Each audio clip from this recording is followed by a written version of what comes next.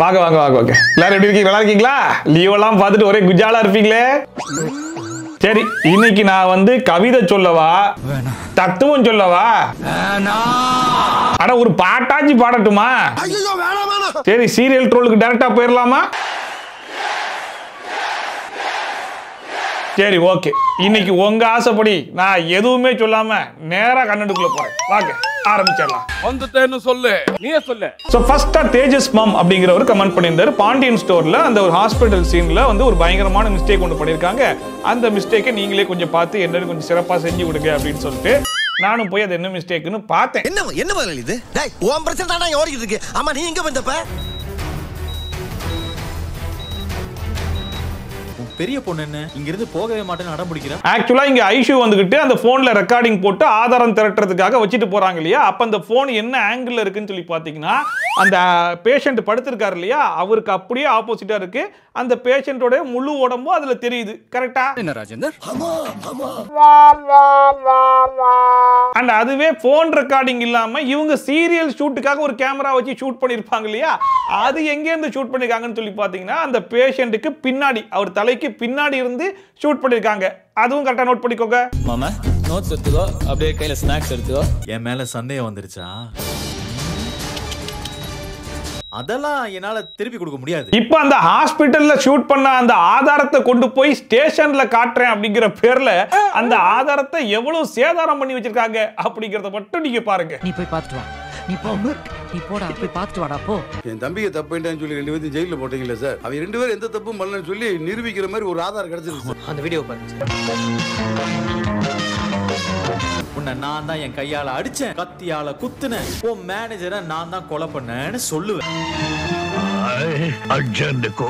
கஷ்டப்பட்டு அந்த ஐஷு புள்ள ஹிடன் கேமராங்கிற பேர்ல அந்த போன்ல ரெக்கார்ட் பண்ண அந்த ஆதாரத்தை கொண்டு போய் காட்டுவாங்கன்னு பார்த்தா இவனுங்க ஹாட் ஸ்டார்ல டெலிகாஸ்ட் ஆன எபிசோட டவுன்லோட் பண்ணி கொண்டு போய் காமிச்சுக்கிட்டு இருக்காங்க. சார் இதுக்கு பருத்தி மூட்டை பேசாம குடோன்ல இருக்கலாமே? இருக்கலாம். இவங்களுக்கு கொடுக்குற சம்பளத்துக்கு என்ன வேலை வாங்குறதுனே தெரியலையே. அதான். வழக்கமா இந்த சீரியல்ல இப்ப வரைக்கும் சிசிடிவி ஃபுட்டேஜுக்கு மட்டும்தான் இந்த மாதிரி வேலைகள் எல்லாம் பார்த்துக்கிட்டு இருந்தாங்க.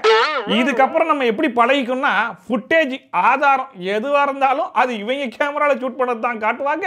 நம்ம அதை புரிஞ்சுக்கணும் அப்படிங்கிற மாதிரி ஒரு நிலைமைக்கே கொண்டு வந்துட்டாங்க. அப்படி நீங்களா புரிஞ்சு தொழில பிக்கப் பண்ண பாருங்கடா. என் உசுரை வாங்காதீங்க. ஆனா எனக்கு என்ன ஒரு வருத்தம்னு சொல்லி பாத்தீங்கன்னா நம்ம ஈரமான ரோஜாவைக்கு அடுத்தபடியா நம்ம பாண்டியன் ஸ்டோர் தான் அதிகமான கண்டென்ட்டை இப்ப அள்ளி அள்ளி கொடுத்துட்டு இருந்தாங்க. ஆனா அந்த சீரியல் இப்ப முடிய போதாமே? நெஞ்சு வலி அண்ணே. இந்த நியூஸை கேள்விப்பட்ட நேரத்துல இருந்து ரெண்டு நாளா பல் விளக்குல மூணு நாளா சாப்பிடல நாலு நாளா பட்டினி கிடந்து அஞ்சு நாளா குளிக்காம ஏழு நாள் கக்கூஸ் போகாம சுத்திட்டு இருந்தேன். தூரம் போ. இப்பதான் தெரியுது அவன் ஏன் மயங்கி விழுந்தான்னு. அப்பதான் என் கண்ணுல ஒரு ப்ரோமோ ஒண்ணு மாட்டுச்சு. பேசாம கம்முடுற கண்ணெல்லாம் எரியும்பா. பாண்டியன் ஸ்டோர்ஸ் தந்தை சொல் மிக்க மந்திரமில்லை இந்த பாண்டியன் ஸ்டோர் சீசன் டூ உடைய ப்ரோமோவை பார்த்ததுக்கு அப்புறம் தான் என் மனசுல இருக்கிற பாரமே இறங்குச்சுங்க. இல்லைண்டு வளர்த்த என்ன மாதிரி வளர்க்கணும்? சீசன் ஒன்னுக்கும் சீசன் டூக்கும் எந்த மாதிரியான மாற்றங்களை இவங்க கொண்டு வருவாங்கன்னு நான் இப்பவே சொல்றேன் நீங்க கேட்டுக்கோங்க. சீசன் ஒன்ல மூணு தம்பிகள் சீசன் டூல மூணு பிள்ளைங்க. அடடா ஆரம்பமே அட்டகாசமா இருக்கு. அப்படியே மேல போறான் இந்த மூணு பசங்களும் ஒரு ஒரு பொண்ணையா தேடி கண்டுபிடிச்சி லவ் பண்ணி அதுக்கப்புறமா கல்யாணம் பண்ணி எல்லா மருமகளும் ஒரே சமயத்துல கன்சீவ் ஆகி அதுக்கப்புறம் குறை பிரசவத்துல அந்த குழந்தைகள்லாம் பெத்து டாப்கியரை போட்டு மேல தூக்கு தூக்கு தூக்குமா? அதுக்கப்புறமா ஒரு ஒரு குடும்பமா வீட்டை விட்டு வெளியே போக வெளியே போகன்னு ஒரு ஒரு வார்த்தையா ஓட்டி அதுக்கப்புறம் ஒரு ஒரு பிள்ளைங்களா ஜெயிலுக்கு போக ஜெயிலுக்கு போகன்னு ஓட்டி அதோட சீசன் டூ முடிஞ்சிருச்சு. சீசன் த்ரீல மூர்த்திக்கு மூணு பேர குழந்தைங்க. இந்த கதையில பல பிளஸ் இருக்கு. அதுக்கப்புறம் சீசன் த்ரீல கண்டென்ட் எப்படி போகும்னு உங்களுக்கே தெரிஞ்சிருக்குமே. இங்க போய் இந்த கதையை ப்ரொடியூசர் கிட்ட சொல்றீங்க. சரி. அட்வான்ஸ் வாங்குறீங்க. சரி எது எப்படியோ நம்மளுக்கு பாண்டியன் ஸ்டோர் மூலியமா கண்டென்ட் கிடைச்சா போதும். என்ன சொல்றீங்க? சொல்லத்தான் நினைக்கிறேன். சொல்லாமல் தவிக்கிறேன். அடுத்ததா அருண்குமார் அப்படிங்கிறவர் கமெண்ட் பண்ணியிருந்தாரு. ப்ரோ தென்றல் வந்து என்னை தொடும் சீரியல்ல இந்த எபிசோட்ல இந்த டேட்ல போய் பாருங்க. ஒரு படத்தை அப்படியே எடுத்து வச்சிருக்காங்க ப்ரோ எனக்கு மனசே ஆரம்பாடுது போல் பயங்கரமா குமுறி இருக்காப்புல. அவர் மட்டும் இல்ல நிறைய பேர் கமெண்ட் செக்ஷன்ல வந்து இதை வந்து சொல்லியிருந்தாங்க. அது என்ன படம்னு யாரும் எடுத்து சொல்லலாம் தேவை கிடையாது. நீங்க பார்த்த உடனே கண்டுபிடிச்சிருவீங்க. பாருங்க. ஐஸ்கிரீம் வாங்கிட்டாங்க விஜயமா. ஐஸ்கிரீம் கொடுங்க.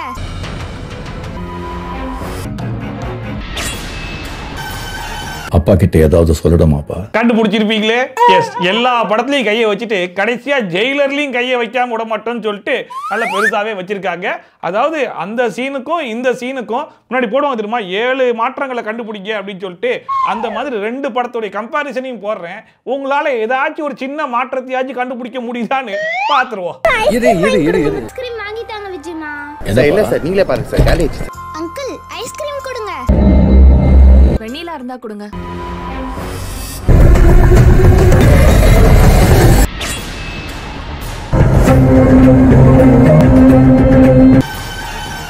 அதாவது உங்ககிட்ட வந்து யாராச்சும் இந்த ஈ அடிச்சான் காப்பிக்கு என்ன அர்த்தம் அப்படின்னு சொல்லி கேட்டாங்கன்னா நீங்க பெருசா எக்ஸ்பிளைன்லாம் பண்ண தேவையில்ல.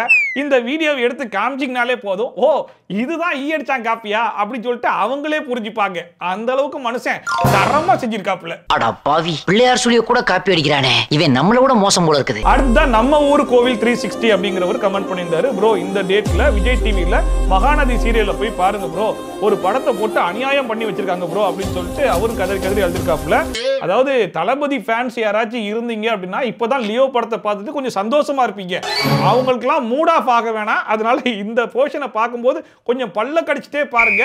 ஏன்னா தளபதி ஃபேன்ஸ் எல்லாம் வெறுப்பேத்தணுன்றதுக்காகவே இதை பண்ணி வச்சிருக்காங்க. இது ஒரு அக்ரிமெண்ட் மேரேஜ் டாடி இந்த அக்ரிமெண்ட் கண்டிஷன்ஸ்லாம் சொன்னார்ல? ஒரு வருஷம் கழிச்சு.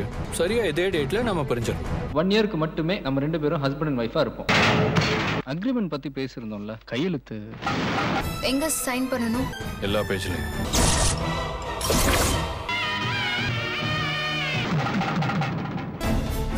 இந்த கல்யாணத்துக்கு ஒன் இயர் அக்ரிமெண்ட் அப்படிங்கிற கான்செப்டை யாராச்சும் சொன்னாங்கன்னா நம்மளுக்கு ஃபர்ஸ்ட் ஞாபகத்துக்கு வரதே பிரியமானவளை படம் தான் நம்ம தளபதி நடித்த படம் பயங்கர ஹிட்டான ஒரு படம்.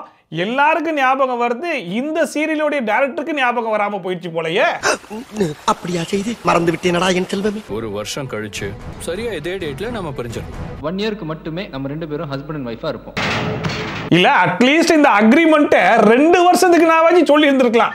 அதே ஒரு வருஷம் சொல்லி எடுக்கிறாங்களே இதெல்லாம் இவங்க பிளான் பண்ணி தான் எடுக்கிறாங்களா? இல்ல யதார்த்தமா இந்த மாதிரிலாம் செயல்படுறாங்களா? அப்படிங்கிற மாதிரி ஒரே குழப்பமா இருக்கு எனக்கு. இதுக்கப்புறம் அந்த சீரியல் டேரக்டர்ஸ்லாம் ப்ரொடியூசர்ஸ் அப்ரோச் பண்ணாலே சரிப்பா என்ன படத்தை வச்சு எடுக்க போறீங்க அப்படின்னு சொல்லிட்டு அவங்களே டைரக்டா கேட்டுருவாங்க போல இருக்கு அந்த அளவுக்கு எல்லா சீரியல்லையுமே ஒரு ஒரு படம் தான் ஓடிக்கிட்டு இருக்கே தவிர்த்து அவங்களுக்குன்னு ஒரு கதை இருக்கா ஒரு கான்செப்ட் இருக்கான்னு கேட்டா பிம்பிலிக்கு பிலாப்பிங்கிற மாதிரி தான் இருக்கு போன்விட்டா கேன்சல் வெயில் ரொம்ப ஜாஸ்தியா இருக்கு அடுத்த பிரியா பொன்னுசாமி அப்படிங்கிறவங்க கமெண்ட் பண்ணியிருந்தாங்க ப்ரோ மோதலும் காதலும் சீரியல்ல இந்த எபிசோட்ல போய் பாருங்க அந்த தண்ணியை வச்சு எல்லாருக்கும் தண்ணி காமிச்சு வச்சிருக்காங்க அதை பார்த்துட்டு என்ன சொல்றதுன்னு ஒன்றும் புரியலன்ற மாதிரி இருந்துச்சு நானும் போய் பார்த்தேன் அப்படியே சாக் ஆயிட்டேன் நான்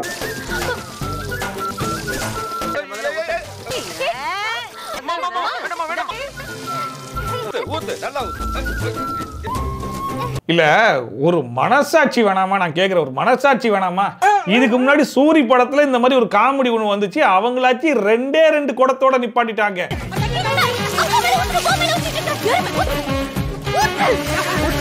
ஆனா இவங்க இத்தினூண்டு ஒரு பக்கெட் எடுத்து வந்து அது பக்கெட்டா இல்ல கிணறான்னு தெரியல ஊத்த ஊத்த தண்ணி வந்துகிட்டே இருக்குது.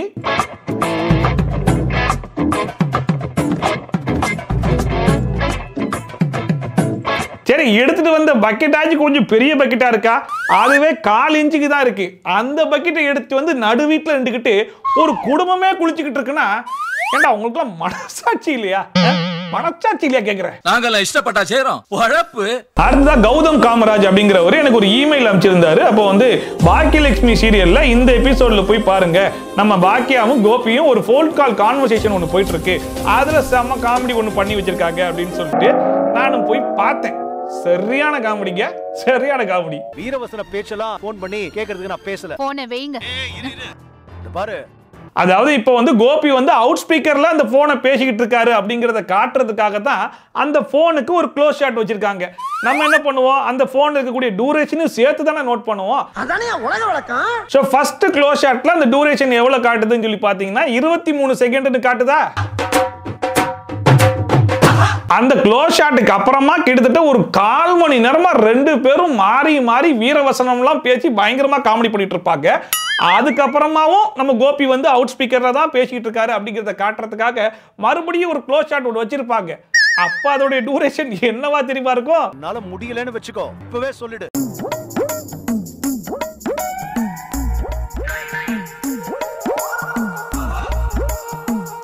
பதினோரு செகண்டா ஏண்டா பதினோரு மணி நேரமா பேசிக்கிட்டு இருக்கீங்க? அதுல பதினோரு செகண்ட் காமிச்சிக்கிட்டு இருக்கு. அநேகமா இந்த போனை நாப்டால ஆர்டர் பண்ணி வாங்கியிருப்பாங்களோ? அமானுஷ்யமா இருக்கே. என்னை தாண்டா ஈஸியா அடிச்சு போடுறீங்க.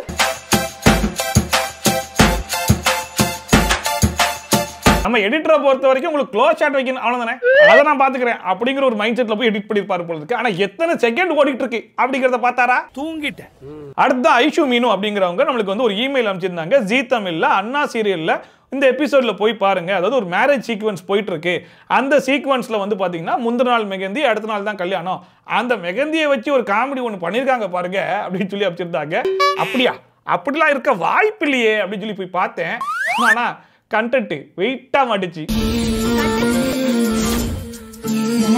அவன் கிட்ட போய் காட்டுவோம். ஆக்சுவலா இது கல்யாணத்துக்கு அப்படியே முந்தின நாள் நைட்டு அவங்களுக்கு போட்டு விட்டுருக்க மெகந்தி. எனக்கு தெரிஞ்சு கையில மெகந்தி போட்டாங்கன்னா அட்லீஸ்ட் அது ஒரு நாலஞ்சு நாளைக்காச்சும் கையில இருக்கும். அப்படிதானே?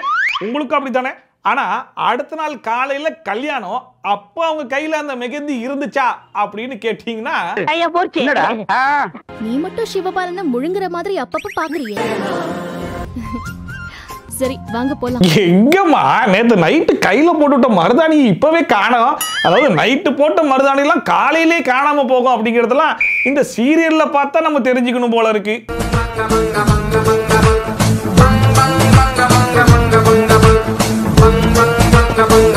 இவங்க பண்ற காமெடியை பார்க்கும்போது ஈரமான ரோஜாவுக்கே டஃப் கொடுப்பாங்க போலயே அப்படின்னு யோசிக்கிறதுக்குள்ளேயே அடுத்த கமெண்ட்டை படிச்சு பார்த்தா ஈரமான ரோஜாவே உள்ள உட்காந்துருக்காங்க அதே மெகந்தி கான்செப்ட் என்னன்னு பாப்ப வாங்க. நான் வீழ்வேன் என்று நினைத்தாயோ? மதுப்பிரியா அப்படிங்கிறவங்க நம்மளுக்கு அனுப்பியிருந்தாங்க. ஈரமண ரோஜா விட்டு உள்ள இந்த எபிசோட்ல போய் பாருங்க கையில போட்ட மருதாணி டான்ஸ் ஆடும்போது காணாம போயிடுது அப்படின்னு என்னடா இது? இப்போ கொஞ்ச நேரத்துக்கு முன்னாடி தான் அந்த கண்டத்தை பார்த்து வந்தோம். மறுபடியும் அதே கண்டத்தை ஆனா ஈரமண ரோஜா இல்லையா ஆஹ், ஈரமண ரோஜாவைக்கு எவனாலும் இண்டப் கொடுக்க முடியாது போலயே.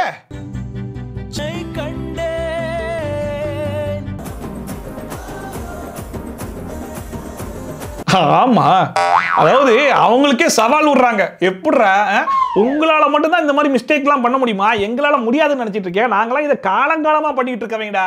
உனக்கெல்லாம் சீனியர் தெரியுமா? நம்பர் ஒன் நம்பர் டூ எல்லாம் பாப்ப விளையாட்டு. I am the only one super one no comparison கையில போட்டு விட்ட மெகந்தி அதுக்கப்புறமா டான்ஸ் ஆடும்போது ரெண்டு கையிலையும் காணாம போயிருச்சு. கிட்டத்தட்ட அதே சீன் தான். பட் ஈரமான ரோஜாவைக்குன்னு இருக்கிற ஃபார்மட்டை அவங்க கைவிடாம பண்றதை நினைக்கும் போது ரொம்ப பெருமையா இருக்கு. ரொம்ப. என் வழி தனி வழி. மறக்காதீங்க.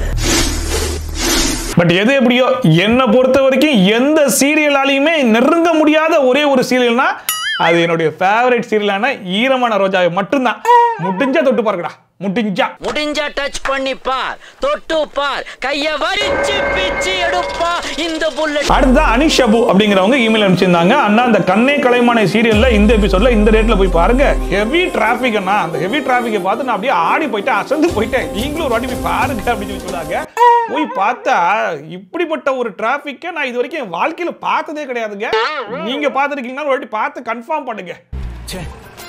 இருக்கிற டென்ஷன் பத்தாதுன்னு இந்த டிராபிக் வேற. சீக்கிரம் போங்கப்பா. என்னையா இவ்வளோ டிராபிக்கா இருக்கு? எப்போ கிளியர் ஆகும்னு தெரியல சார் எப்படி? ஹெவி டிராபிக்னு அவர் சொல்லும் போதே பக்கத்துல இம்மாந்தண்டி லாரி கிராஸ் பண்ணி போயிட்டு இருக்கு அந்த அளவுக்கு பயங்கரமான டிராபிக் போலயே. சீக்கிரம் போங்கப்பா என்னையா இவ்வளோ டிராபிக்கா இருக்கு? எப்போ கிளியர் ஆகும்னு தெரியல சார் ஏன்பா? நீங்க மட்டும்தான் நடு ரோட்ல வண்டியை நிப்பாட்டிக்கிட்டு ஏதோ டிராபிக் டிராபிக்னு பேசிக்கிட்டு இருக்கீங்களே தவிர்த்து ரெண்டு பக்கமும் நல்லா வண்டி செம்ம ஃபாஸ்டா போயிட்டு இருக்கே. இதுக்கு பேர் தானே டிராபிக் நம்பிக்கை. வாழ்க்கையின் ஆதாரம். அதாவது நீங்க ஒரு டிராபிக்ல இருக்கிற மாதிரி ஷூட் பண்ணணும் அதெல்லாம் புரியுது. அதுக்காக நீங்க போய் டிராபிக்லயே நின்று எடுங்கலாம் சொல்லல. அட்லீஸ்ட் ரெண்டு பக்கமும் வண்டி போகாத இடத்துலயாச்சும் போய் நின்று ஷூட் பண்ணலாம். இல்ல வண்டி போகாத நேரத்திலயாச்சும் நீங்க டயலாக் பேசி ஷூட் பண்ணிருக்கலாம்ல. இம்மாந்தண்டி லாரி போகும்போதா டிராபிக்னு சொல்றது. ஒரு நியாயம் வேணாமா? நியாயமா நான் எல்லாம் ரங்கங்கிட்ட இருக்குதான் அப்படி இல்லையா? பக்கத்துல ப்ரொடக்ஷன்ல இருந்து நாலஞ்சு வண்டியை நிப்பாட்டி வச்சு அப்படியாச்சும் டிராபிக்னு காமிச்சு விட்டுருக்கலாம்.